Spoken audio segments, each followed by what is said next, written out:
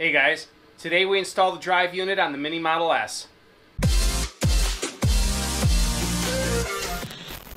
Alright, welcome back. So, this is the drive unit for the Mini Model S, and um, this drive unit will be mount, mounted uh, at the center of the axle here, and um, the um, it'll be mounted in such a way that um, I want it, I don't want it offset to the side, even though the sprocket is offset to the side.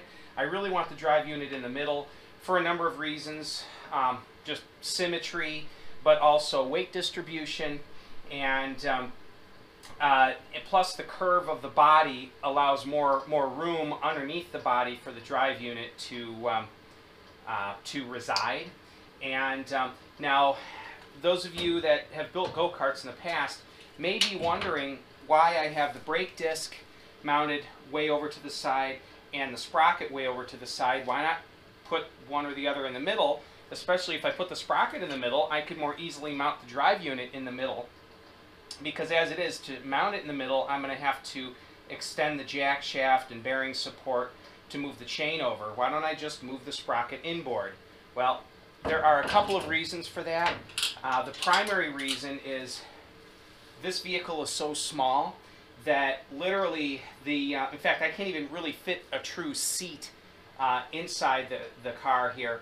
So um, more than likely I'm just going to build a, a bit of a, sort of a, a shelf that's just very short uh, and flat to sit on that I'll, I'll pad because there really isn't even room for a, a seat in here.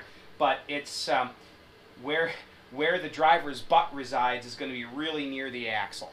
So that meant that forced the sprocket and the brake disc to be moved way to the outside because the curve of the seat will provide clearance for the, the uh, brake disc and for the sprocket. So uh, this thing is so small that gaining a couple of inches is monumental in, in uh, the ability to sit inside this. So for that reason, uh, anything on the axle that increases diameter has to be moved to the outside. And um, so, but um, uh, again, this is, um, this, this project is, it's based uh, somewhat on the, um, this drive unit that, uh, that I make for bicycles. This is what I call the Da Vinci drive. It is a, um, brushless, permanent magnet brushless DC motor with a uh, toothed belt. This happens to be 5 millimeter pitch and it is 25 millimeters wide. And uh, that drives uh, a pulley to a jack shaft uh, to an output sprocket that on a bicycle would normally go to a sprocket at the rear wheel. And this freewheels so as the unit drives forward, the freewheel grabs, but then uh, when normally a bicycle would be coasting forward, this would freewheel. Now, um, I'm torn between leaving the freewheel on or not.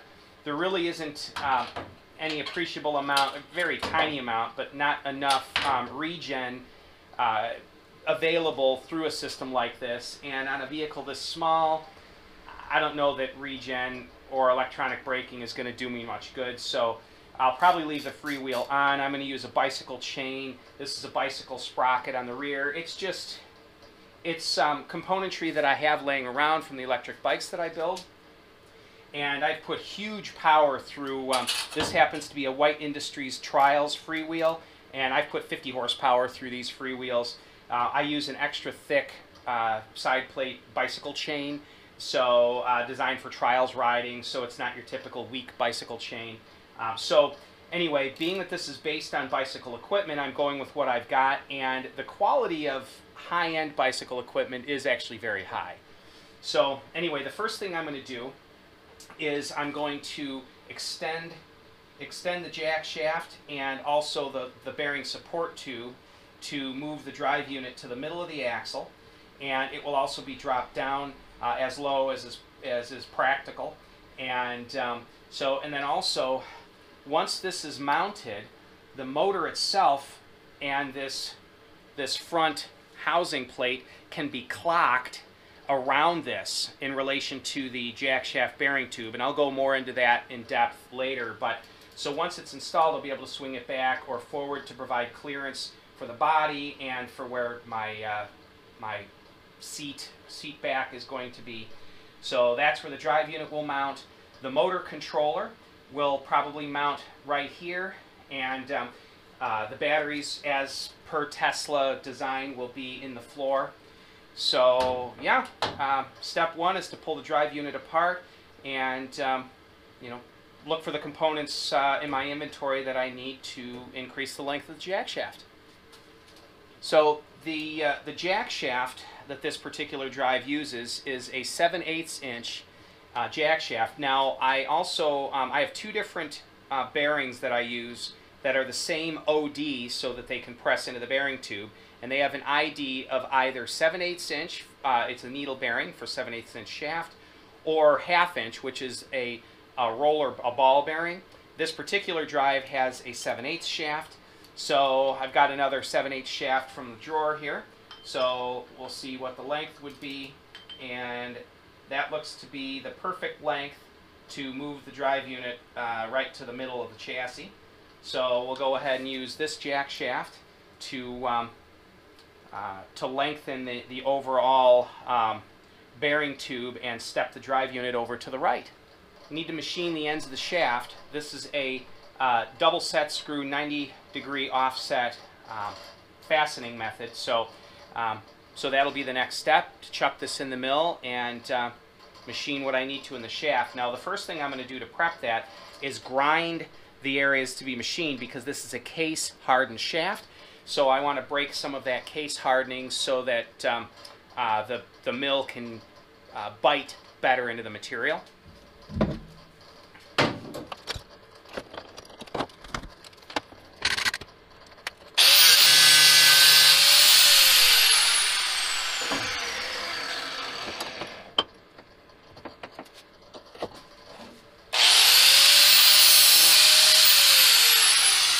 So there's some uh, just basic grinding to put two flats in the shaft, uh, 90 degrees circumferentially from each other. Uh, the next step is to chuck this into the milling machine and go ahead and mill a slot for one of the set screws. So we have the milling machine right next to us here.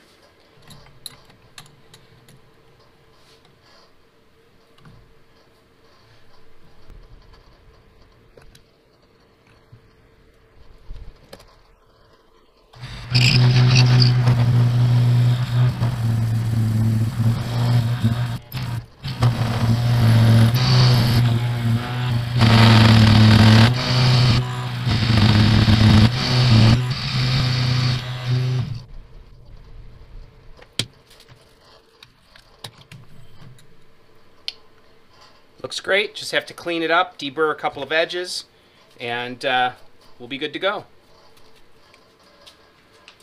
Now, on this particular drive unit, belt tension is handled by this screw here.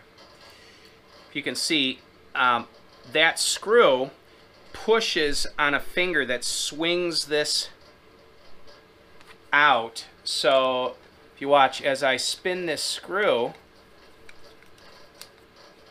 the belt tightens up.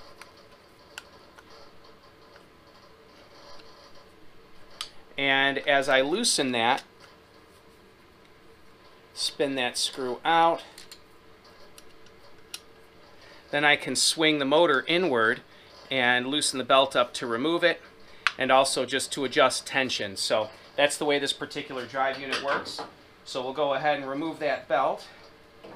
Now I can slip the jack shaft out and um, there's our jack shaft and here's our here's our jack shaft bearing tube right there. And that bearing tube I'll have to lengthen and um, to accommodate the larger jack shaft.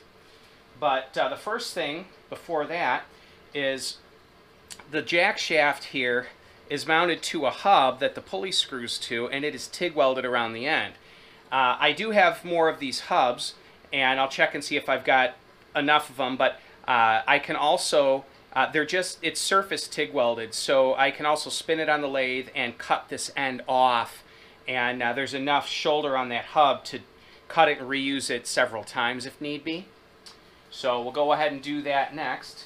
All right, well, looks like um, I actually have quite a few of these hubs. So what I'm going to do, this is a common length jack shaft and uh, for that hub. So I'm going to remove this and um, put this jack shaft uh, just in the drawer for future use. And I'm going to weld a new hub to my new jack shaft, which will weld on, get TIG welded on right on the end there. You'll see there's a keyway. That keyway is not needed, so it'll be surface welded around the lip and then the um, the freewheel will mount to the end of the jack shaft. One set screw will go in that groove, one will rest on that flat, and this mounting method is um, uh, it, it is extremely strong. Uh, a keyway would be slightly stronger, however, this particular um, this partic particular uh, freewheel adapter was not broached for a keyway and just uses two hardened set screws and I've never had an issue with this much power. Now if I were running a, drive system with two motors I would definitely go with a keyway. Now I do have a, a, couple of bikes that are built with two motors that just use these these um, set screw, um, the slot and a flat and it's adequate but you can tell it's kind of pushed right to the edge. So for a single motor this is great. For two motors it's functional but at its limit, so then I run a keyway. But in this application, this will work fine. So I'm going to go ahead and TIG weld the surface there and then start um, uh, moving all the parts over to this new, this longer uh, setup. And I also need to make a new bearing tube. I can press out these needle bearings from this tube, but uh, I'll probably have more in stock, so I'll check my inventory on that. So yes, I do have a couple of new needle bearings, so I'll just press new needle bearings into a new jack shaft tube. But first, uh, I need to TIG weld uh, these two parts together, so I will clean those, uh, mount them in a, in a vise, and uh, go ahead and TIG them down.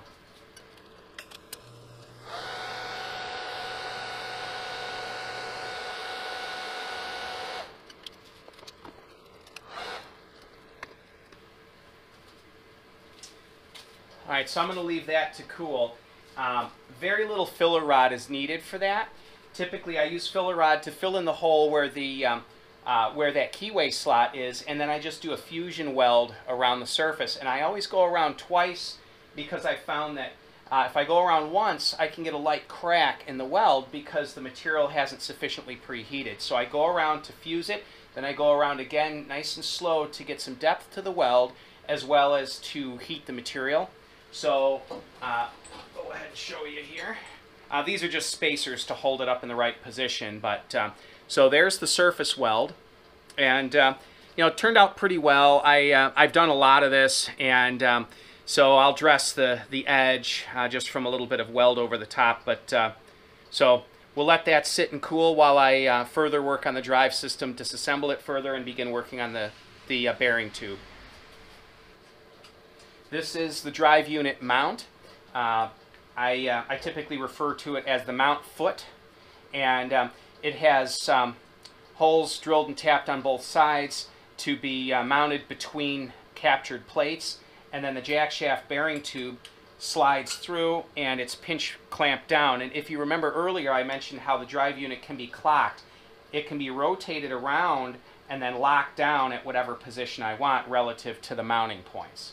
So this, this mount foot will be mounted to the frame somewhere in this vicinity and it'll be on a slotted mount to allow it to move fore and aft to allow for chain tension adjustment. So um, one of the nice things about this particular drive unit, if you look at this, this is a uh, permanent magnet brushless DC motor and the windings are actually attached to the can. Now, being that the windings are attached to the can, the can itself is directly uh, it's within an eighth of an inch away from the, the windings. This drive unit, the motor slides into it and then it pinch clamps around the motor can. That means that the heat from the motor can is directly shed right into the housing of this drive unit. Very, very effective for um, internal cooling of the motor. Uh, also, this silver plate that is screwed down with four small screws to the face of the motor that has an additional support bearing.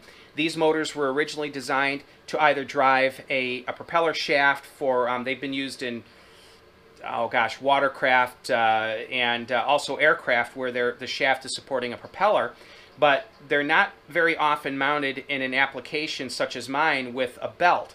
When you're using a, a belt, there's a lot of, of um, angular load, a lot of um, side load on the shaft, puts and it puts a lot of load on the bearing inside the motor can. So this plate holds a second bearing. So now there's two bearings stacked next to each other to support that side load of the belt.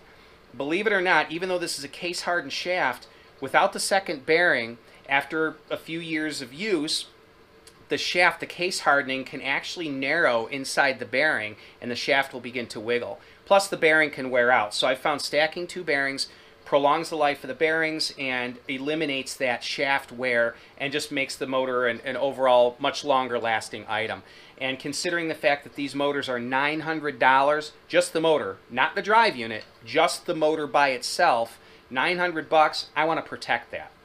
So, all right, we'll go ahead and um, start uh, setting up the materials to make the new jack shaft bearing tube.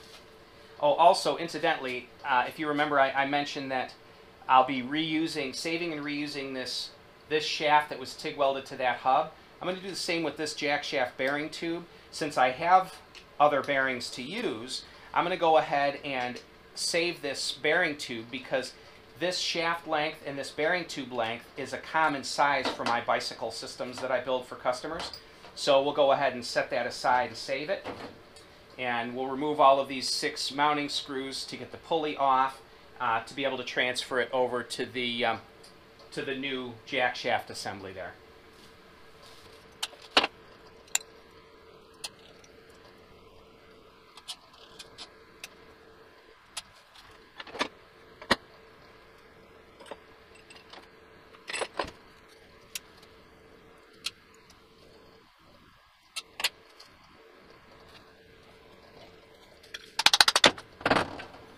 success. So we'll put that together with the, uh, with the bearing tube and we'll set this aside. I have a drawer for components like this. We'll set this aside for future use. Uh, that's another thing. I, I'm not a hoarder, I'm not a pack rat, but I do save quite a bit. Uh, and components like this, this hub is a custom-made item. They cost me $40 a piece to have made. The jack shaft, it's a nice case-hardened jack shaft. These are, are high-end Torrington needle bearings with rubber seals. There's just no reason to be getting rid of something that has a, a future use. So, um, especially when you're using high-end equipment. So I'm, that's why I'm going to go ahead and save this. Um, now, and that brings me to my next point of this build. Uh, most people that build uh, custom power wheels or go-karts, they kind of go on the cheap, and I understand why. Um, I uh, I, I myself, uh, I like to uh, save money where I can, but uh, at the same time, I found that quality matters. And so, in this instance, building this thing, first of all, I got the Mini Model S for free through the referral program. Secondly, uh, I manufacture these drive units, and these motors are made proprietary for me. I get them at dealer cost. Um, I had this motor in stock. I had many drive unit parts in stock. This particular drive unit is a used item. It was sold to a pedal cab company for, for commercial use along with a few others. They had sent some products back to me to be serviced and so I ended up with a few of these drive units used in stock that were pretty badly hacked. So I spent, spent a bunch of time just sanding and filing and cleaning up this drive unit. I had this motor left on the shelf. The motor controller is a surplus item that I have in stock. Uh, the aluminum tube was a lot of uh, components that I had in stock. The sprocket I had in stock. I mean, uh, a lot of it I made. The rear axle is just a piece of tube that, that I made. All of the bearing carriers and um, bearing capture um, clamps are just basic split collars I got from McMaster-Carr. So this thing is, it's very, very high end in the way I'm building it but it really isn't costing me as much as you might think. So uh, if I had to start from scratch, um, I would, I'd probably be spending upwards of $5,000 in equipment to build this.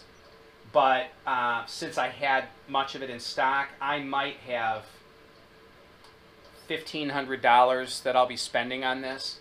And um, so which to build even just a steel framed basic go-kart, you're going to be into it for that by the time you actually figure everything in. So, um, so that's that's why I'm building this uh, in such a high-end um, configuration, aluminum frame, uh, mostly aluminum drive parts, and really high-end motor and high-end lithium batteries and super high horsepower, and and uh, because uh, it's I have the components, but also it's not something that most people do.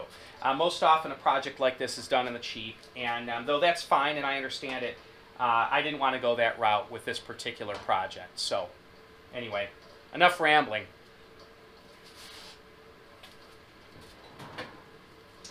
Now, the material that I use for jack shaft bearing tube is just basic drawn aluminum tube. Uh, it's 6061. It is inch and 3 eighths outside diameter, inch and 1 eighth inside diameter. And um, so I just cut it to length, press the bearings in, and that is my jack shaft bearing tube.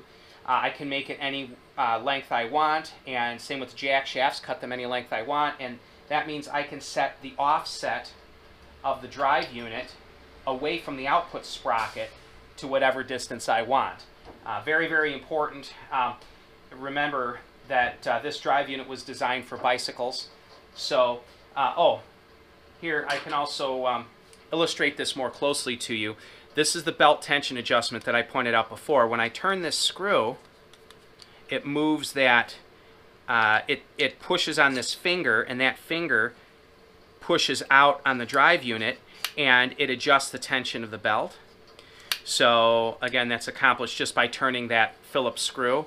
It's a very, very effective means for, for belt tension adjustment, and um, it's, uh, it's a design that was born out of necessity in installing these on a bike where you can adjust things easily, make it relatively lightweight, but also the ability to shed heat from the motor.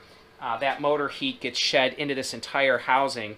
The motor will get somewhat hot, and then the housing is quite warm, and it's the thermal mass goes up, the surface area for shedding heat goes up, but again, it was, it was difficult to figure out how to get the belt tension adjustment uh, set in a very easy way, and this was, um, uh, this was the best method that I had come up with. This was maybe six years ago that I designed this. Um, so if you go on to the Endless Sphere uh, bicycle forum in the bicycle non-hub section, this is called the Da Vinci Drive, and uh, my name is Recumpence, uh, spelled with a U, uh, recumpence on that forum and you can see some of the bike builds that I do. So if you want to know more about the bicycle drive systems. But the bulk of the projects that I work on are based around this drive system. Even my big 4x4 skateboard uses one of these for the front axle, one for the rear. It just has a motor that is shorter in length but fits in the same drive. So anyway, uh, I'm going to go ahead and figure the length of this tube by um, laying it out with the jack shaft so I know what length to cut it to and I can press the bearings in, get the whole unit assembled and begin the, the mounting process on the frame.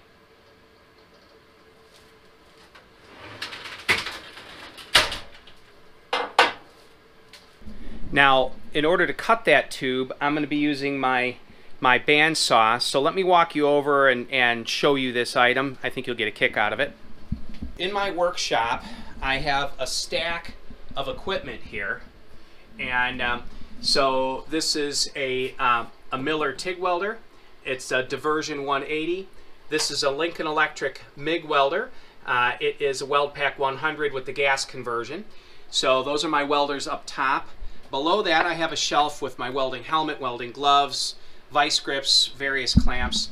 And then below that I have this, this particular um, rack of equipment. So I'll set the camera down and, and show you how that works.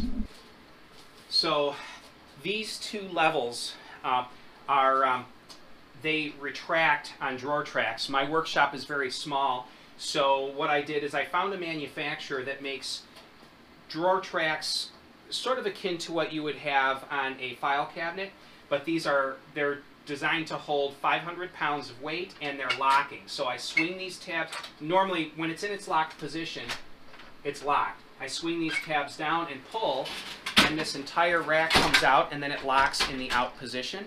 So this way I can use my grinder, uh, and um, I also, this shelf I have cut away so that I like using my band uh, or my belt sander in the upright position so it can retract into that, that shelf there.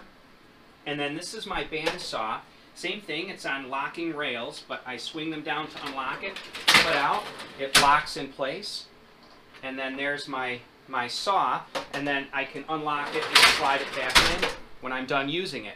So to give you guys an idea of how strong these drawer tracks are, you can open it up and stand on it. And I weigh 180 pounds fully clothed. So, um, so yeah, we'll go ahead and um, use the bandsaw here. And I do a lot of metal work. Uh, I had another one of these bandsaws. I had it for 20 years, and then eventually the gearbox itself wore completely out, so I bought another one, and uh, just from Northern Tools. So I have to go ahead and set the fence at a 90 degree. It's set for 45 degrees right now, and then I'll start cutting. And set our material in here to cut it at the mark that I had listed.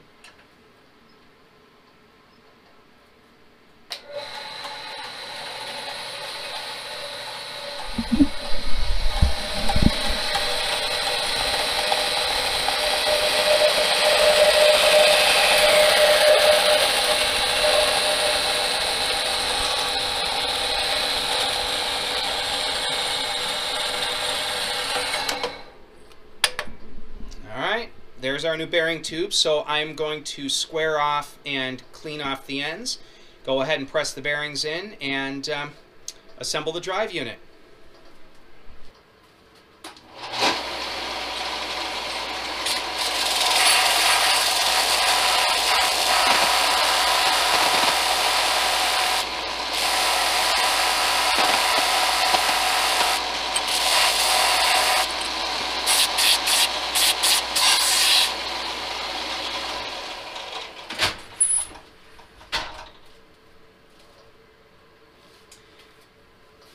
So the ends are squared up and cleaned off. Now I'm going to bevel the inside edge and go ahead and press the bearings in and we'll be done with our jack shaft bearing tube. I'll also clean up the exterior of it uh, just to shine it up for aesthetic purposes.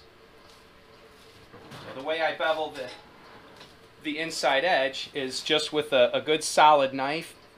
You don't want to use a utility knife for this, a thick bladed knife. And what I do is I put it on a slight angle and give it a spin and it leaves a really nice edge. Now you have to be careful not to slip off. Uh, this actually isn't a super sharp knife, but sharp enough to do the job, and it leaves a nice clean bevel. So on the other side, you see that it will actually curl material off. So they do make tools for doing this, but I don't happen to own one, and I found that for aluminum, a nice sharp stainless steel bladed knife works. You just have to be extra careful, but um, that's the way I bevel the inside edge. I've been doing it for many years and um, works great. Now what I'm going to do, um, I have a bearing press, but it's not set up in my shop. So I'm going to very gently drive this in. Now you can use a vise for this purpose too, but I've gotten good at doing this in just laying the bearing on a hard surface, the tube over the top, and I have a, a soft face plastic mallet. Uh, mallet that I made. This is a tapered titanium tube uh, designed uh, for a, a, bicycle fork leg. but anyway, um, so I'll be tapping this into place. Now, I normally don't recommend doing this. I normally recommend using a bearing press, but uh, again, it's something I've been doing for many years and it does work. What you don't want to do is put the bearing on top and then tap it down because it'll end up cocking the bearing to the side. You lay the bearing on a flat surface, put the tube over the top because it's much easier to sight down the tube to keep it straight and tap down on the tube. Also, uh, it's good to do this on a very solid surface. Now this bench, it's aluminum, but it's thin-walled aluminum.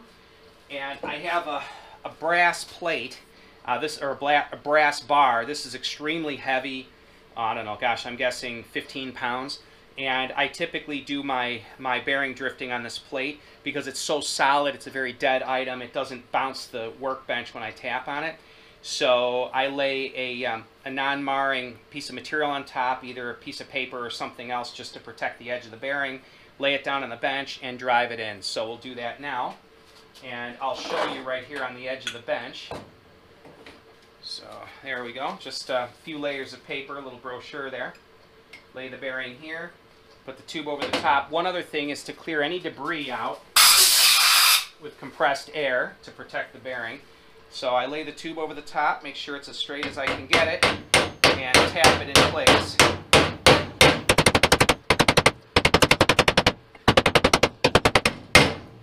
Another thing is to rotate and hit around the edge so that it, uh, it will want to walk its way over the bearing.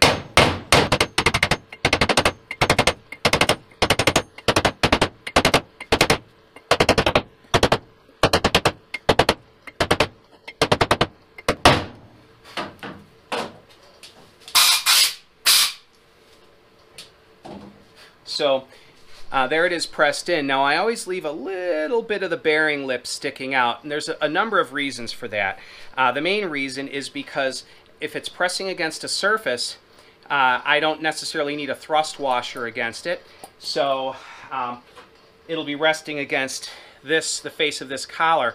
Now um, I may um, I may grab a uh, a Teflon thrust washer if I have them, but um, I found they're really not needed if there's no side load, but you don't want steel running against aluminum. You want it running against the steel edge of the bearing. So I always leave just a touch. I'll probably drive it in a little bit more, but I always leave just a little bit of that bearing hanging out the edge. Now we'll do the bearing in the other side.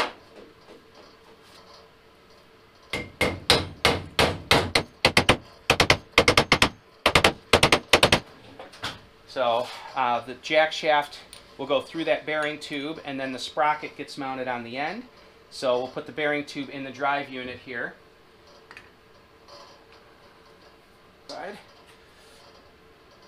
Now, um, earlier I showed you earlier I showed you this mount foot. Well, I've changed my mind. I'm not going to use this mount foot. Uh, I've got a different mount foot. Let me show you that. Put this back here.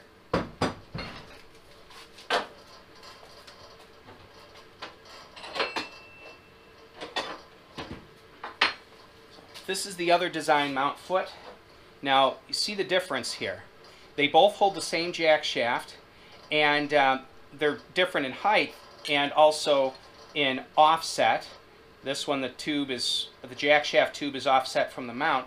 This one is symmetrical, but the main thing is this particular mount foot has slots in it, and those slots allow it to move fore and aft. Uh, initially, I was going to use this mount and then install aluminum plates on the frame that would have slots machined in them so this could move forward and back in the slots on the frame. This particular mount will allow it to move forward and back. I can just put simple holes in the plates in the frame and still allow the fore and aft adjustment by using this mount foot. So again, bicycle, uh, electric bicycle, high-end drive system uh, parts for my drive units that I've been manufacturing for years is where I'm getting all these components. So this is kind of cool. These are um, these are our uh, drive system mount brackets uh, that were manufactured for uh, installing these drives to square tubing, and you'll notice that they fit directly over that tube there. So these mount clamps were designed to clamp to an inch and a half uh, box tube. Now this frame happens to be one inch uh, one inch by inch and a half. So it does fit in one dimension, but uh, it's too narrow in the other dimension uh, to properly grasp the uh, the drive unit. But uh, I think I can um, think I can use these. What I'm I think I'm going to do is um, uh, use these as mounting tabs that I can weld right to the frame. But I have a box full of these that I'm never going to use. So um, these would normally they capture around the frame and then they the drive unit would would screw through them and you can adjust it fore and aft on the frame and adjust the drive unit within these. But I think what I'm going to do is um, cut these and weld them to the frame uh, as tabs to mount the drive unit to. So I can mount that right to the main to the main frame rail and I may use a second mount to support the weight because it'll be cantilevered not sure I have to decide on that yet, but uh, this would be the easiest method, I think, to, to install the drive unit. So we'll go ahead and start working on that. Well, I think I've decided on, I'm going to shim, uh, shim these clamps out so I don't need to weld them to the frame. I can just clamp them directly to the frame. I think that might be my best option. So I need to increase the clamping surface by an extra uh, quarter inch per side. So I've got some quarter inch aluminum plate here that I'm going to cut in the bandsaw to uh, fit and uh, work uh, as shims to shim these spacer or these clamps out from the frame a little bit. Alright, so I've got a bracket cutting in the saw. While that's cutting, I'm going to go ahead and assemble the pulley under the jack shaft here.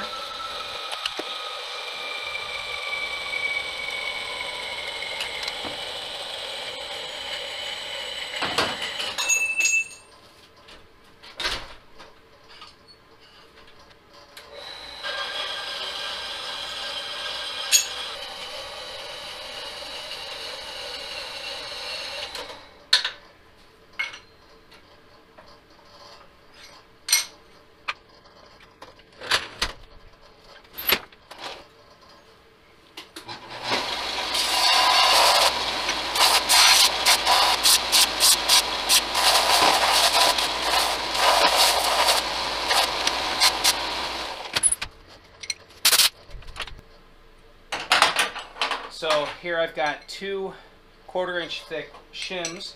They will go between the, um, the mount clamps and the frame rail on the car to space the, um, the clamps out to make this inch and a half high, one inch narrow uh, frame tube into inch and a half square for the drive unit mount foot to mount on. So I'm just now assembling that and installing it. So what I'm doing in this step is uh, we need to put a pass-through bolt uh, through these two clamps. One side's a clear hole, the other side is just a clear hole.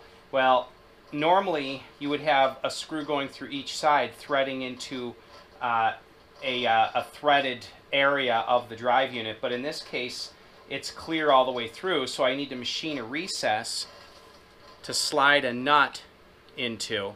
So I still have to deburr the edges, but you can see the nut slides right down into that into that opening. So that's what I'm doing in this step here. One down, one to go.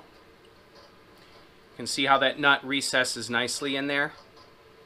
Excellent. So here is the drive unit um, uh, jack shaft bearing tube mount installed. So this jack shaft will go through there. But uh, you can see that uh, it moves forward and back in these uh, the slotted holes here, and uh, that forward that forward and back um, motion allows for chain adjustment. So the only concern that I wasn't even thinking about before is these clamps now hang down below the frame.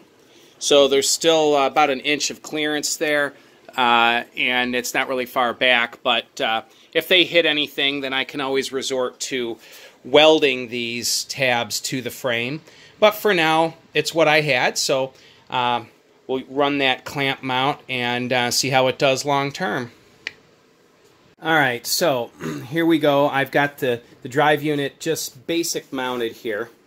And um, I wanted to show you guys the um, wanted to show you guys the the way it was all laid out. And uh, so very shiny, lots of bling. So the um, I'll be putting the belt on in a minute here, but um, for now, I just wanted to show you the chain. So with the rear wheel removed, you can see the, the chain going from the drive unit sprocket to the uh, uh, to the axle. And um, as I mentioned earlier in the video, uh, this actually is a freewheel. So it will freewheel in the one direction and it grabs and drives in the other. And so, and then this moves fore and aft in the mounts to uh, make chain uh, um, tension adjustments. So these two Allen screws, which are 3 16ths, uh, 3 16ths Allen, once those are snugged down, then the chain will hold its adjustment. So we'll go ahead and snug those.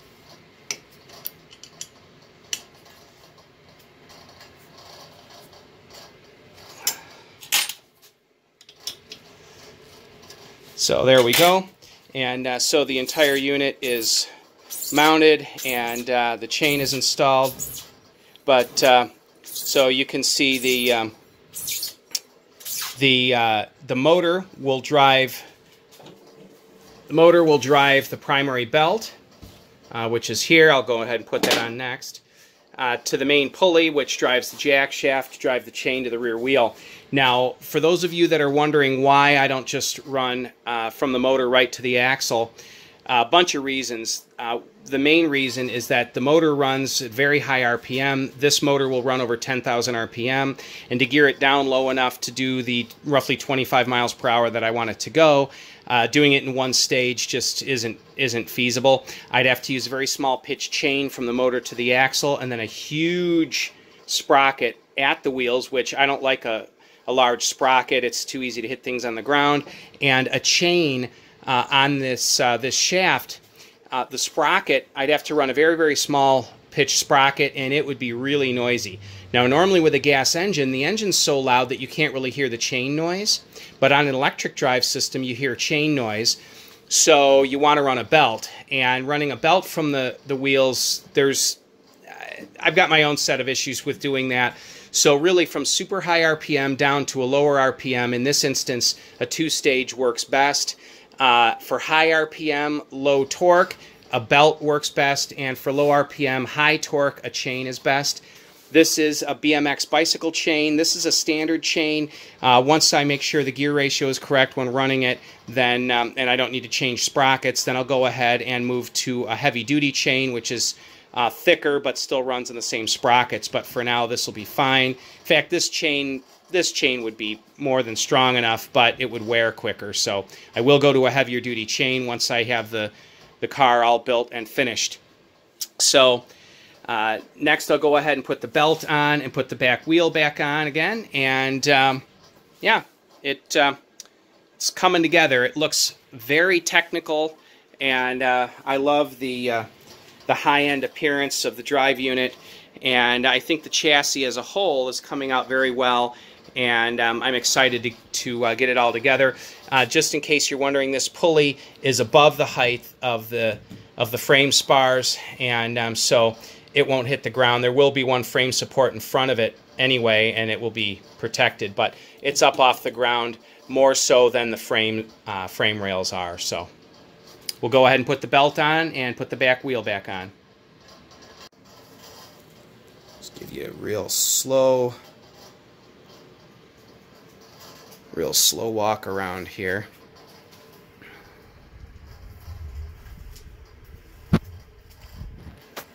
Now also, I mentioned this in the last video, but uh, these bearing carriers for the rear axle, they're just tack welded down right now.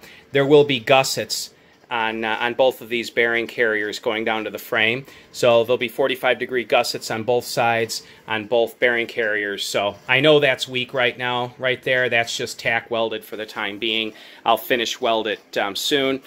The, um, the seat will go basically right up here.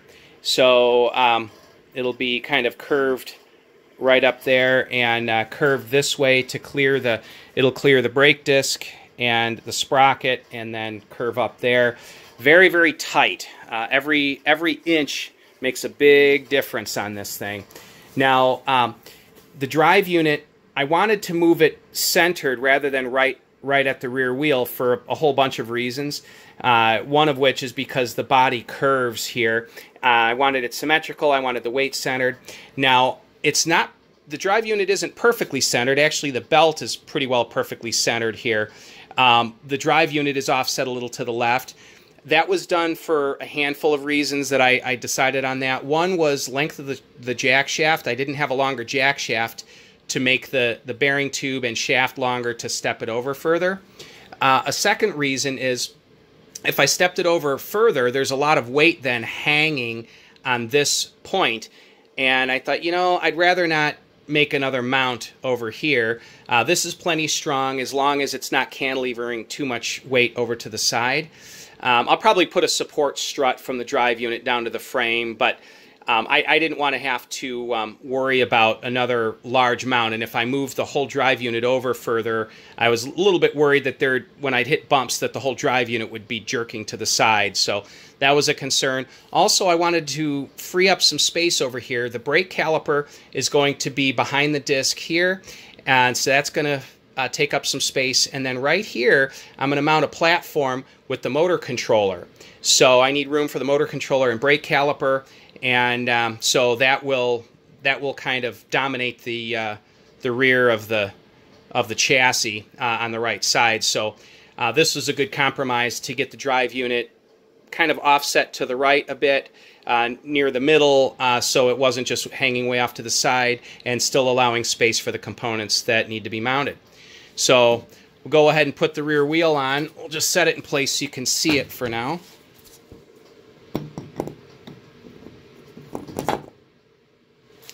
So there it is just set in place. So there's the rear of the car and uh, freewheeling and then back spinning to, to engage and drive the drive unit.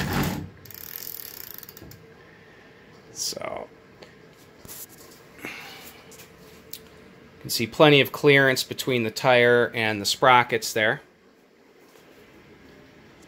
Excellent. So one thing I wanted to show you guys is how um, how precise all of this is. Give it a spin and uh, freeze freewheels very nicely. So there is the uh, there's the drive all set up and um, so looking forward to continuing the build and uh, not 100% sure what I'm going to do as the next step. Um, maybe mount the battery pack, get the body installed. I don't know. We'll, we'll see.